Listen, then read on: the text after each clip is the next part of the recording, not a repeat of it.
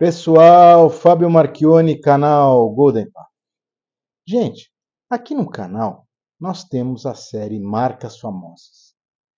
Nos vídeos dessa série, eu falo um pouco sobre a história dos fabricantes de tabaco para cachimbo, do fabricante de cachimbo, até mesmo de um outro acessório que envolve o nosso hobby, né?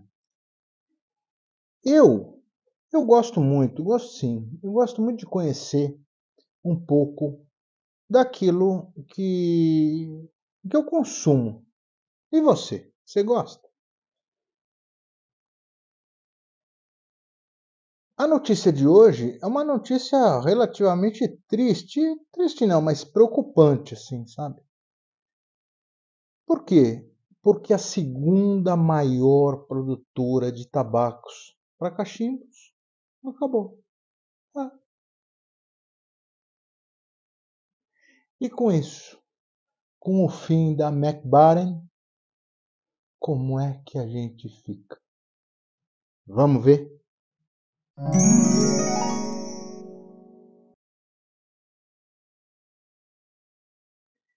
Gente, é inegável que o mercado mundial de tabaco, de um modo geral, já foi muito grande, muito maior mas ainda atualmente ele é enorme, sabe? Eu tive acesso a um relatório, até me confidenciado assim, meio em off, vai, sobre o mercado mundial de tabaco nos próximos anos, de 2024 até 2029. E a expectativa desse relatório é um crescimento anual da ordem de 3,75% ao ano. Gente, parece pouco. Parece pouco, né? 3,75%. Mas não é, viu? Não é. Sobretudo para um mercado que vem sendo escangalhado, vai, vamos dizer assim, pelas políticas anti tabagistas aí, sobretudo as antitabagistas fundamentalistas, né? Não é verdade? Esse relatório, como eu disse, eu não vou fornecer a fonte porque me foi colocado assim meio em off, é, inclusive pediram para não fornecer números precisos. Mas ele aponta que a procura sobre produtos é, de tabaco está estável no mundo todo, sabe? E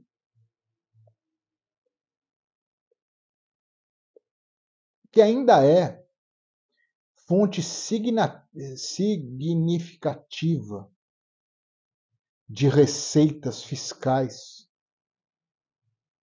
para quase todos os países.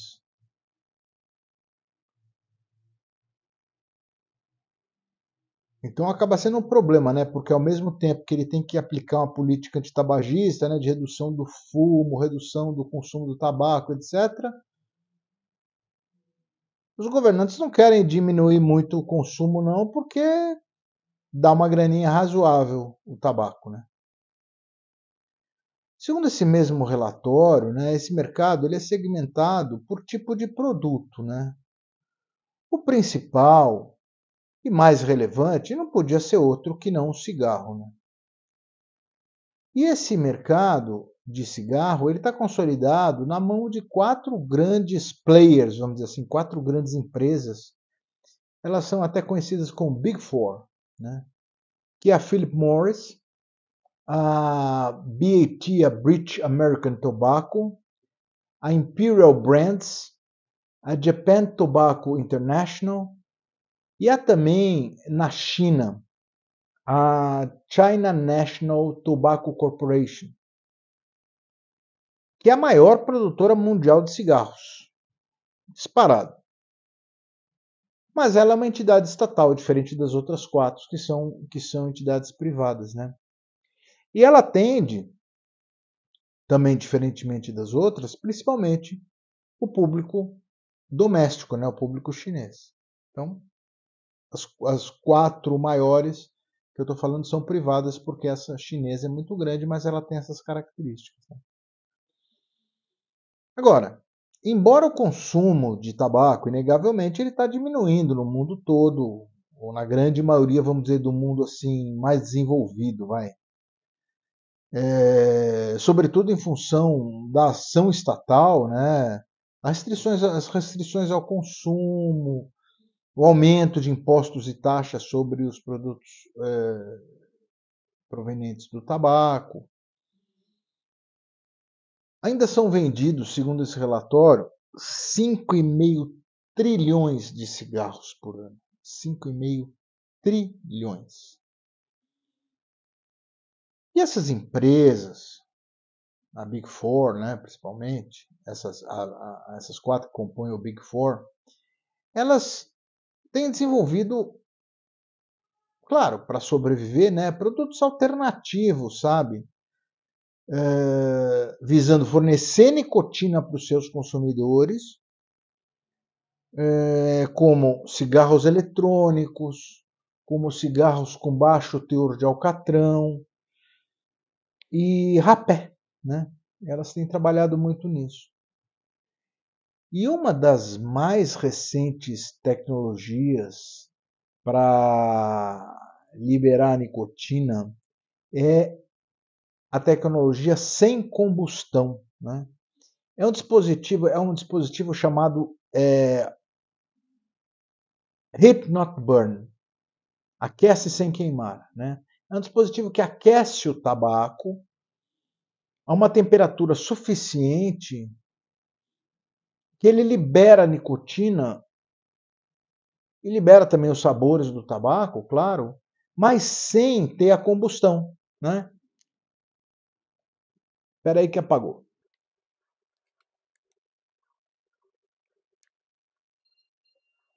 Então esse dispositivo justamente não tem isso, não tem a combustão do tabaco. Bom,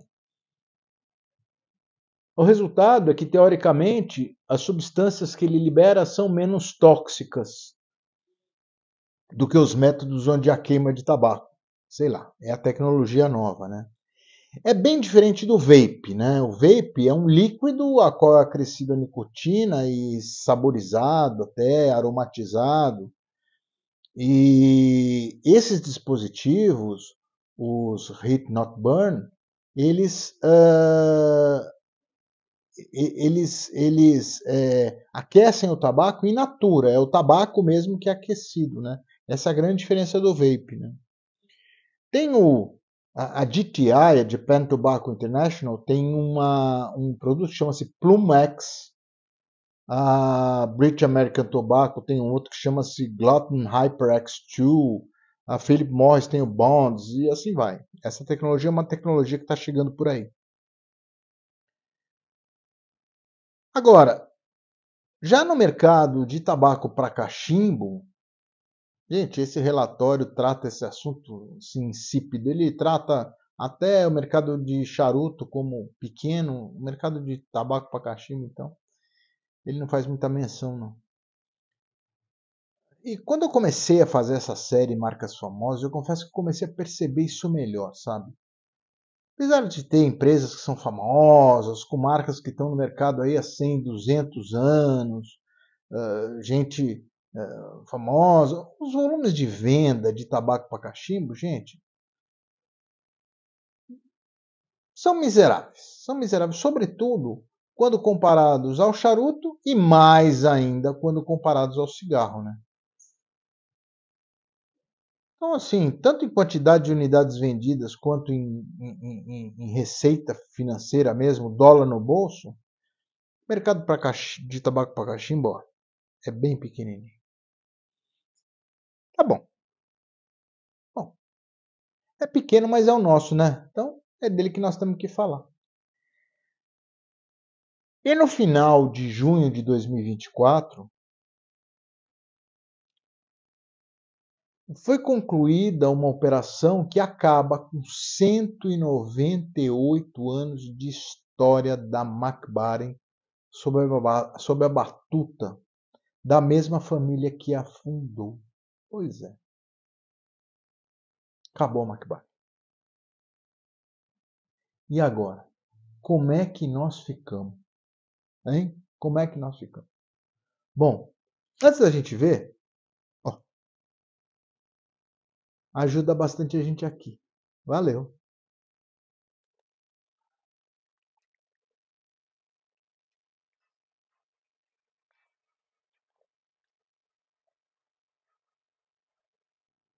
Gente, vocês conhecem bem a McBaren, né?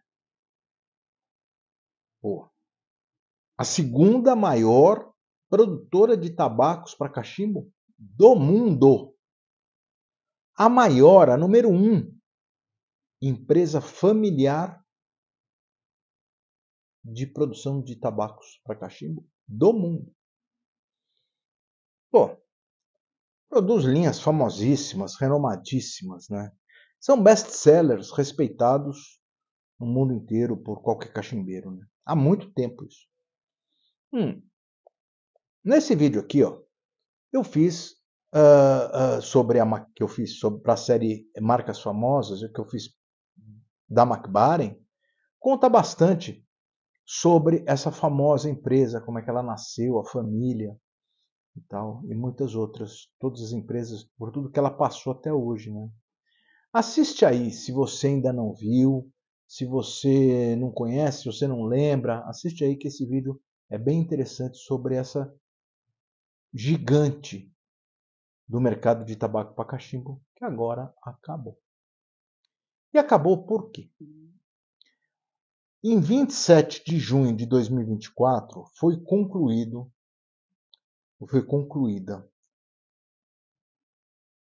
uma operação com a STG. E a STG, então, Scandinavian Tobacco Group, a maior fabricante de tabacos do mundo, fez uma publicação dizendo que estava concluída a aquisição da McBaren. Acabou. McBaren acabou. Agora é da STG. Nesse comunicado diz que as vendas da McBaren elas estavam na ordem de 108 milhões de dólares por ano, com um EBITDA, é, é, esse índice EBITDA, EBITDA, é, é, é, é, um índice que se usa para avaliar empresas. Eles são uh, Earnings Before Taxes, uh, Depreciation é, amortization, né? é, é, um, é um índice que avalia o quanto vale a empresa. E esse EBITDA ele dava anualmente de 12,5 milhões de dólares. Então, apesar de não serem números estratosféricos, é uma empresa que estava dando resultado bem razoável, 12,5 milhões de dólares ao ano. Não sei se esse vai ser o lucro final, mas é um bom resultado. Bom, a aquisição da McBaren pela STG, gente, se deu por cerca de 80 milhões de dólares. Olha o tamanho. Gente, estamos falando de McBaren. Eu achei que essa empresa valesse uma fortuna. Foi comprada por 80 milhões de dólares. E ainda pelo um sistema, também uma forma de, de, de, de aquisição de empresas que chama-se Debt and Cash Free. Ou seja, ele, ele compra, vamos dizer assim, a operação, ele não compra os, os, os, débitos da empresa, nem o que ela tem em caixa, ele compra a operação dela. Né?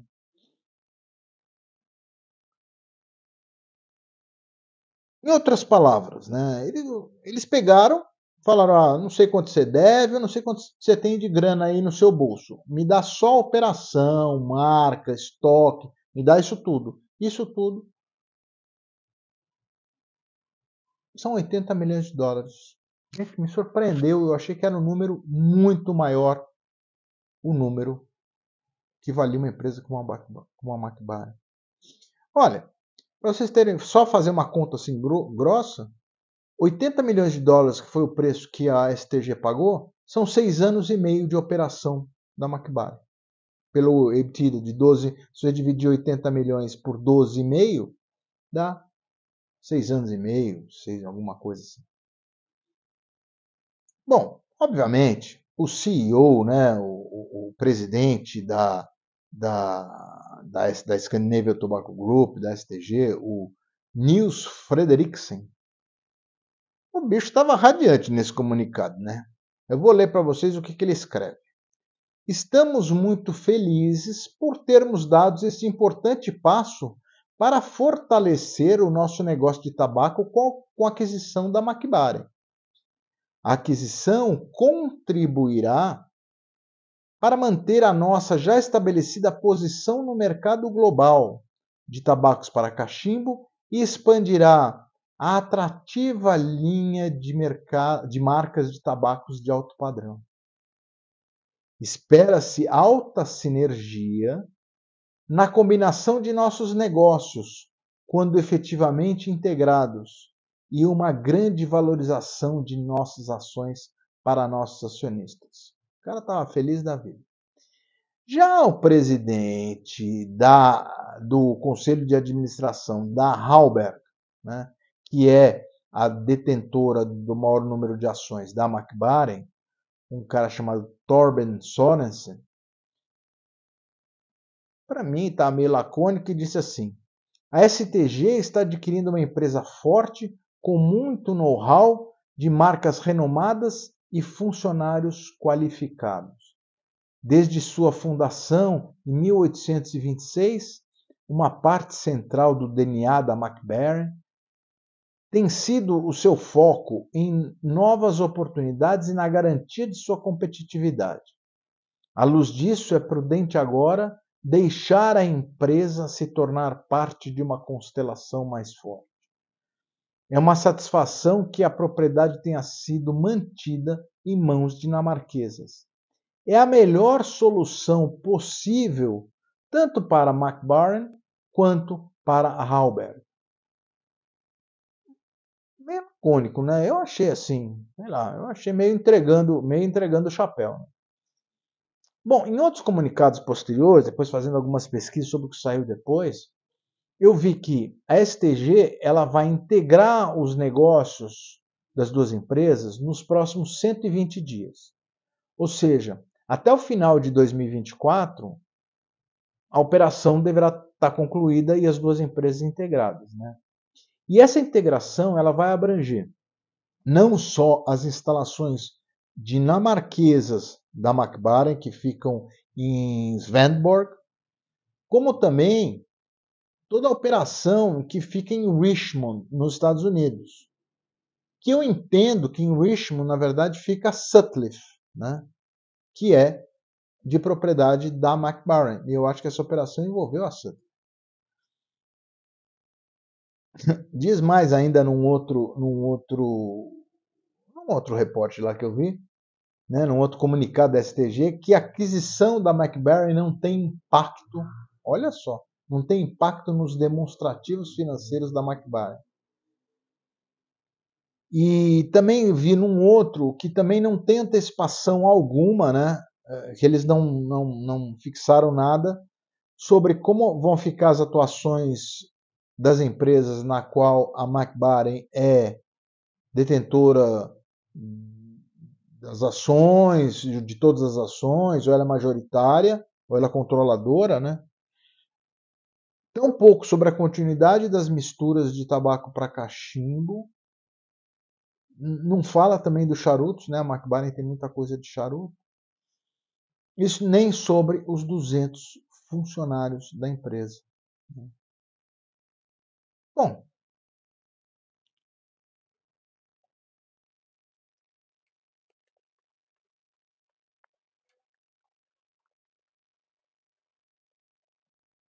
Gente, eu parei até para dar uma fumadinha, ó, em homenagem a ela. Ó. Bom, e agora como é que a gente fica? É, pois é, e a gente? A venda já foi feita, né? Para mim, Olha, sinceramente, me pareceu uma moleza, viu? Olha, como eu falei, né? A venda foi feita por 80 milhões de dólares. 80 milhões de dólares. E ó, sem que a STG tenha assumido débitos que provavelmente, né, provavelmente existem na, na né? Deve ter empréstimo, deve ter alguma coisa, não é possível. Né? E dinheiro em caixa é uma coisa que a gente não tem muito, né? Vendeu por 80 milhões. Pensa bem, gente. 80 milhões de dólares. Olha, um exemplo. Mal dá para comprar um jatinho executivo que faça voo intercontinental, por exemplo. Um Gulfstream, um G650, que é um, tudo bem, é um belíssimo jato executivo, mas você vai andar nos aeroportos dos Estados Unidos, vai ver um monte, vai ver um monte na Europa, custa cerca de 70 milhões de dólares. Gente, se com esse dinheiro comprar um jatinho, mal dá para pôr gasolina no avião, vai, ó, cai. Bom, e como eu falei, a, a, a, aquisição foi feita nesse sistema de exclusão de débitos e créditos da empresa. Gente, Tudo bem que ela tem um dinheiro a receber, mas o que ela deve para o mercado? Geralmente as empresas devem, né?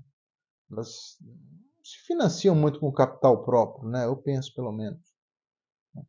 Pelo menos na minha vida profissional eu vi muito isso. As empresas normalmente elas têm um grau de endividamento. Para mim, a STG só comprou o filé da McBaron. E pagou barato. Viu? Pagou bem barato. Nada foi falado sobre como ficam as misturas para cachimbo, sabe? Nada foi falado.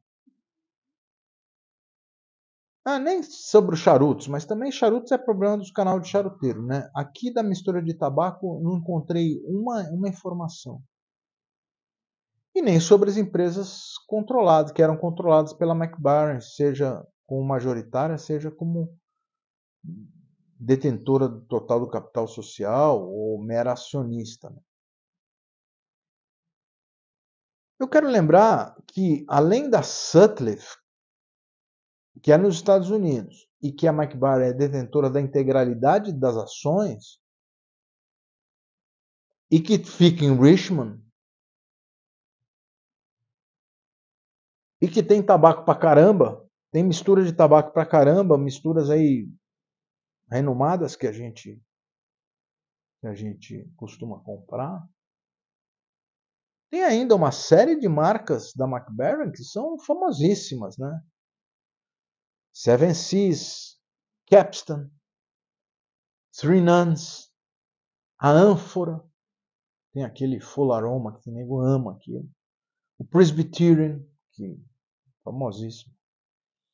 Tem a famosa série AJ de HH da McBaren, que é Harold, é, é Haren, Harold, se não me engano.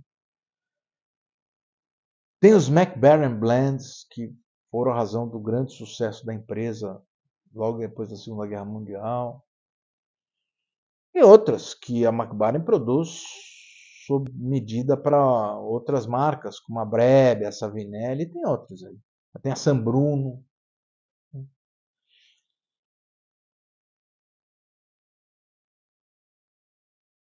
Gente, sinceramente, assim, eu fiquei até um pouco chocado. Me pareceu, me pareceu uma, uma moleza, sabe? O valor da aquisição da segunda maior empresa fabricante de tabacos para cachimbo do mundo. 80 milhões de dólares. Gente, para mim mostra como esse mercado de tabaco para cachimbo ele é pequeno. 80 milhões de dólares. E mais, olha, e seis e meio vezes o valor do resultado, vamos dizer, da empresa, pô, os caras vão pagar o investimento deles em seis anos e meio. Me pareceu um negocião. Eu agora entendo meio que a resposta do, do, o que falou lá o presidente da STG, por isso que ele estava tão radiante. E será que esse negócio de. Ficou quase um monopólio, né? Ficou quase um monopólio. Como é que isso vai afetar a nossa vida de cachimbeiro, sabe?